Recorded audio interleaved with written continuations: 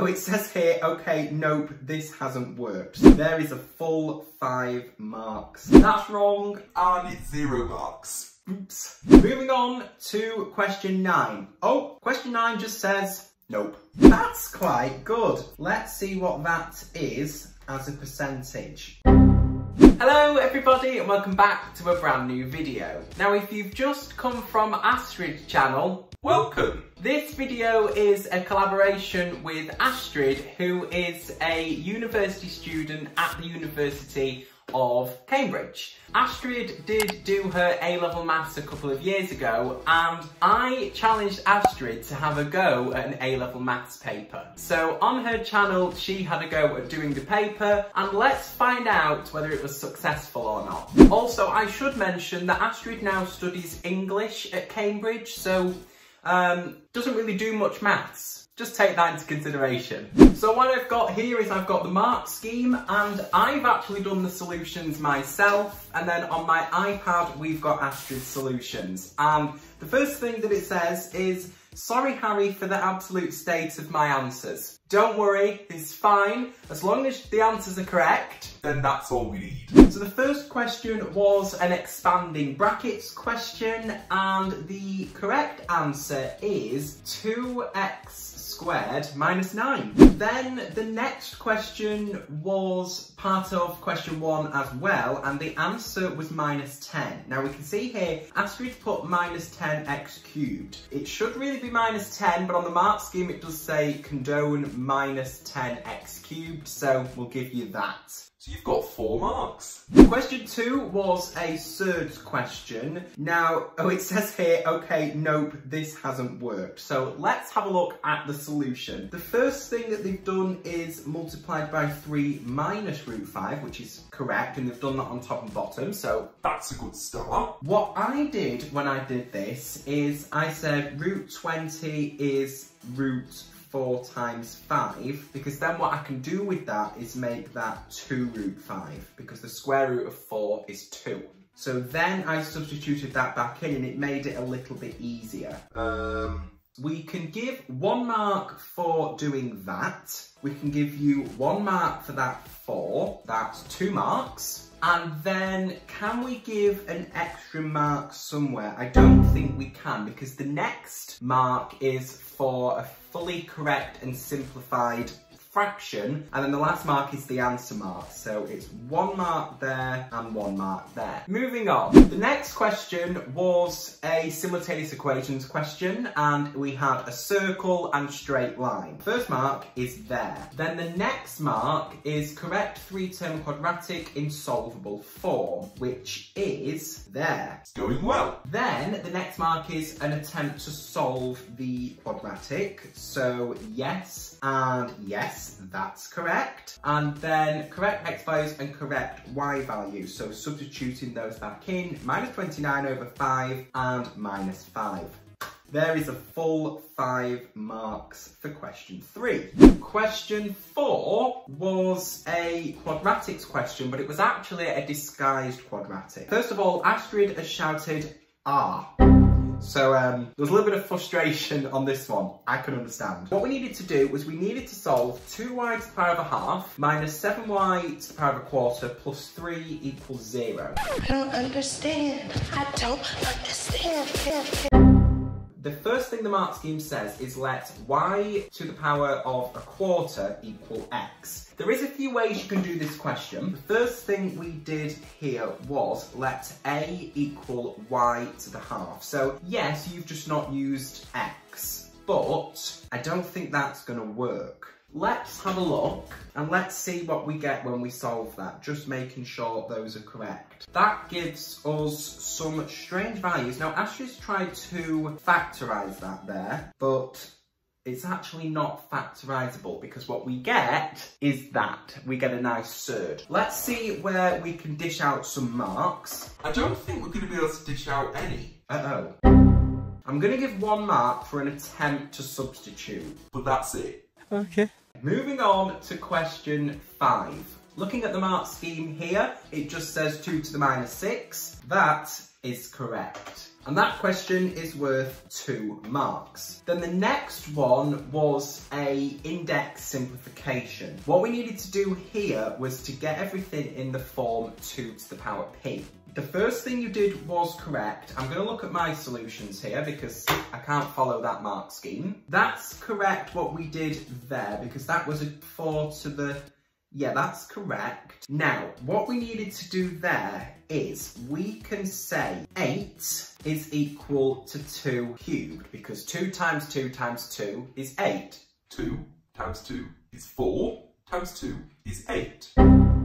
That is the same as 2 cubed multiplied by 2 to the 4 over 3. Now we've got a multiplication there, so we can use an index law, and we can say that that's 2, and because we're multiplying, we add the powers. So it's going to be 2 to the power of 3 plus 4 over 3, which is 2 to the power of 13 over 3. So you were very, very close. We can give 2 marks for that. One mark for an attempt to express both terms as a power of two, which you have done there, so that's one mark. And then the next is that mark, and then the third one would have been the answer. So we've got two marks for that question. For question six, we needed to turn a quadratic into Oh god, what's it called? completed square form and this one was correct so we can give all four marks for that question oh do I be mean here this squared here should actually be there so what that means is that answer is wrong, but if we look above, we can see that the squared is outside the bracket there. So I'll let you have it. I'll give you four marks. Part two, we needed to work out the maximum of that quadratic and 322 was correct. You just forgotten your brackets, but that's fine. So that is an extra two marks. Question seven was a sketch quadratic question and Astrid said, I can't remember how to do this. Help.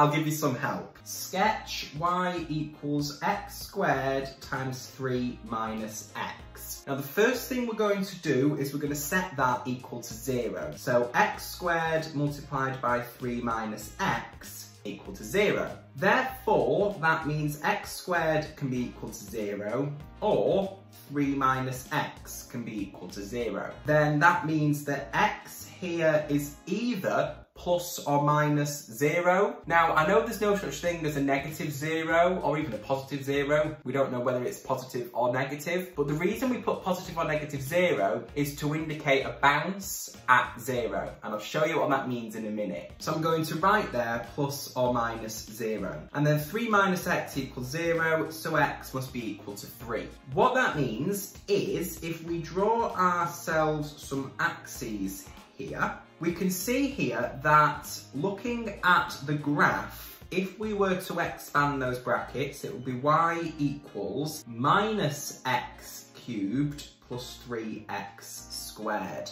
And that means it's a negative cubic graph. So it's going to come down from here. I'm going to draw that a bit better. It's actually going to come down like that. But then when it reaches zero, because we've got the plus and minus, it's going to bounce back up. So it's actually going to bounce back up like that. Then we've got an x value of 3, so it needs to come back down to the x-axis back down to the x-axis at zero so it's going to start coming back down and then it's going to look something like that so unfortunately we didn't have anything to mark there so that's wrong And it's zero marks. Oops. The second part of the question wanted the equation of the graph if it was moved two units in the positive x direction. So Astrid just added a plus two onto the graph and that would be correct if it was moving in the y-axis. But it's a little bit different because it's moving in the x-axis. So what you should have done is actually replaced x with x minus 2. We should have got y equals x minus 2 squared multiplied by 3 minus x minus 2. So therefore y will be equal to x minus 2 squared times My desk is squeaking. 5 minus x. So I'm afraid that's zero. Question 7 part 3, we had a half outside of the equation of the graph and Astrid said stretch scale factor a half parallel to the x-axis. Oh no! Very, very close. It should have been parallel to the y-axis. We can give you one mark for using the word stretch. So for question 7, we got one mark. Question 8, Astrid said I did it! you did. It was a proof question, I think. We got the answer, so we can have three marks there. Then question two, or the second part just says nope. So let's see what we needed to do. It basically needed you to say, as h tends towards zero, the gradient will be 20. But we didn't get an answer for that one, so we're just gonna put a cross. The third part says, I can't remember what the normal is. Is it gradient equals zero? Can I have a point for trying, please? Yeah. We'll give you one point. The gradient is parallel, no, it's not. It's perpendicular to the tangent. Therefore, the perpendicular gradient is the negative reciprocal. So it would be 1 over 20 with a minus sign, so... Minus 1 over 20, it should have said that in the first place. And then you could have substituted that into y equals mx plus c to find the, what were we trying to find? The y coordinate when x was zero. Your answer for that one would have been 50 and a quarter. Okay, moving on to question nine. Oh, question nine just says nope. Then the next three parts we don't have an answer to, but it's absolutely fine. Do I give you one mark for working that out? Hmm, no. Sorry, Astrid. Part 3 said a second tangent to the circle is parallel to the tangent at A and we needed to work out the equation of that second tangent. What we needed to do was work out the equation of that tangent. So if we worked out the length of the radius there, it would have been the same length because they're both two radii or radius, whichever one it is. And then we could have added that on from the centre to give us that point there and worked out the equation.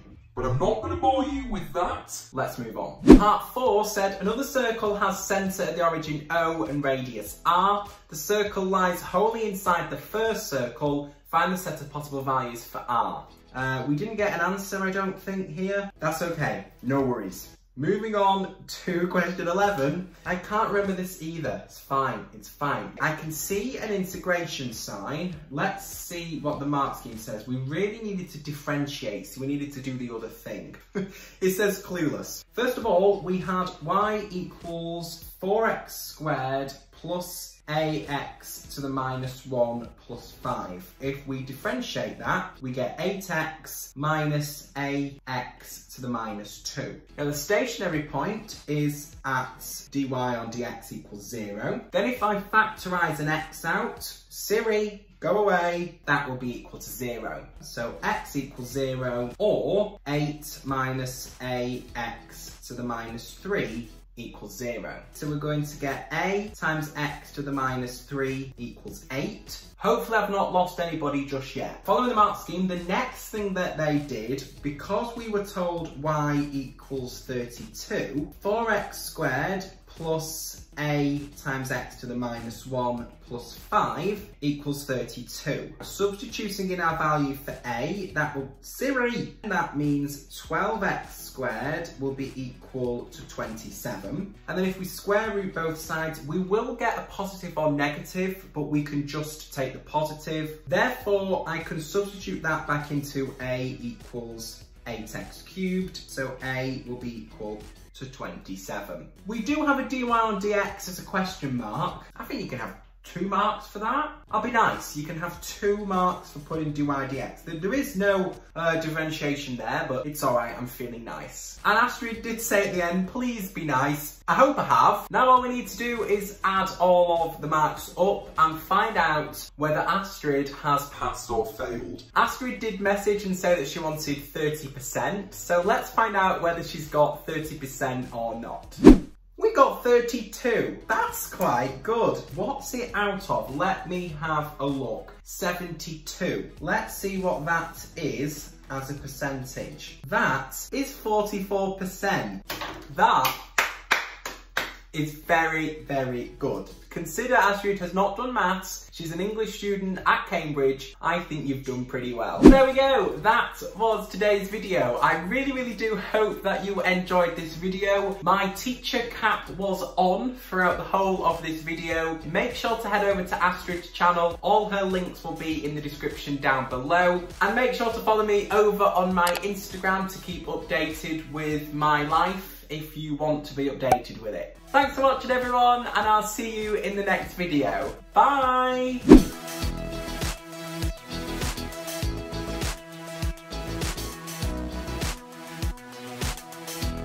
Sorry, Astrid.